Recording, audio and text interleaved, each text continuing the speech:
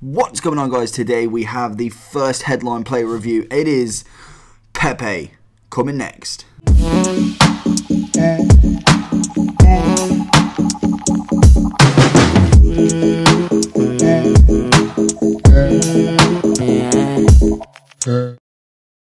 So we have Pepe headliner 87 rated. It's practically a one to watch card, but the promo looks absolutely incredible. And as you can tell, I did pack this card, which is amazing.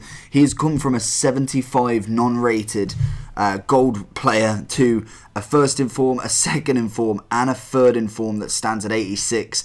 And then obviously with these headliners, he has gone up to 87 right mid. He's looking at around about 150, 160k on both consoles, and he looks incredible. Uh, he's got four star uh, skill moves, three star weak foot, left footed, six foot, high attacking work rate, medium defensive work rate. In game, he has 2,181 in game stats. Obviously, this could go up as well with him being quite in form. Can he get a fourth in form? Uh, maybe go up to an 88 or an 89, depending on how much they want to give him. Obviously, the first in form went up by six, then by three, and then by two. So I, I could imagine if he's going to get a fourth in form, it'll only be an 87, um, and then this should go up to an 88 from that. So looking at some in-game stats, we have 91 pace on this card, 95 acceleration, 87 sprint speed. He has 91 attacking positioning, 88 finishing, 94 shot power, 85 long shots. Uh, he's got 83 stamina with 83 jumping, 99 agility with 83 balance and 86 uh, what's that? All re reactions, ball control, and dribbling, all that, and then 81 composure. He does have some really nice passing as well with 87 vision, 85 crossing, 82 free kick accuracy, 83 short pass, and 97 curve. So pre-patch, this card would have been banging in finesse shots everywhere. I still think they're still there. I don't think they're kind of gone, but they're not as overpowered. I find that you've got to kind of play the ball up a bit more um, in, in the game now after patch. Uh, but this card does it fantastically. Uh, in general, pace-wise is always always nice. He's got 91. Um, he's got lovely shooting, lovely passing, lovely dribbling. Personally, I'd definitely put this card as a, a right striker. Obviously, he's got that left foot with four star, uh, with three star weak foot. So probably just cutting in more than anything. Uh, really, the right foot is there. I don't think. I think a four star is what I like. Then I'd probably be more comfortable making shots with it. But his left foot is an absolute nut. It is incredible. The pace on this card obviously is fantastic.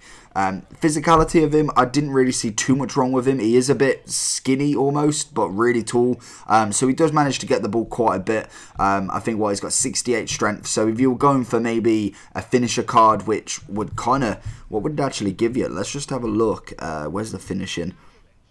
We've got it. I can't even see it. Where There it is. So you'd get practically 95 shooting and you'd get 5 extra strength, 10 extra aggression. So to be honest, and you get 93 jumping, so that's really nice. Obviously, the pace doesn't really need to be touched as much. Dribbling wise is pretty solid, and passing again. If you play him as a right wing or a striker, um, he's already got really nice stats all over. So I really enjoyed this card. Obviously, I did pack him, so he was bound to be first.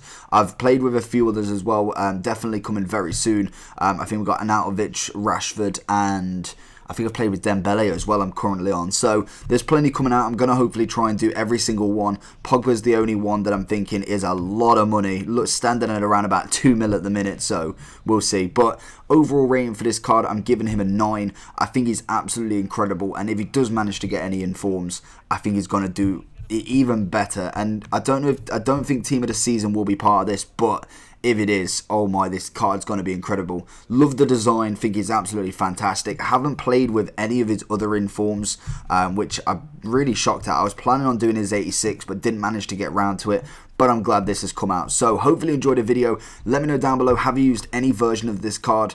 Obviously he is up against the, the kind of Mbappe's and the Ligue 1s.